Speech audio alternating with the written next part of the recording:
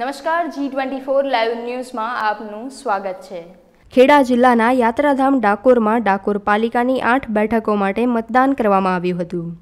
બે હજાર સત્તરના વર્ષમાં ભાજપના આઠ સભ્યોએ અપક્ષના સભ્યો સાથે મળીને પક્ષના મેન્ડેટનો અનાદર કરીને ડાકોર પાલિકામાં સરકાર બનાવી હતી.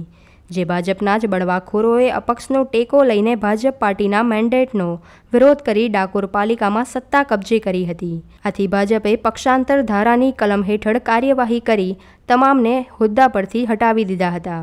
ત્યારે ગત રોજને વોર્ડ નંબર એક, ચાર, છ અને સાતની બેઠક માટે મતદાન યોજાયું હતું, જેમાં ધાર્યા કરતા લોકોનો સારો પ્રતિભાવ મળ્યો હતો.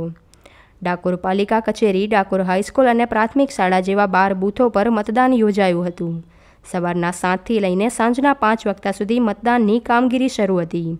તેમજ મતદાન દરમિયાન કાયદો જળવાઈ અને વ્યવસ્થા બની રહે તે માટે ચુસ્ત પોલીસ બંદોબસ્ત પણ ગોઠવવામાં આવ્યું હતું. Bureau report G twenty four live news.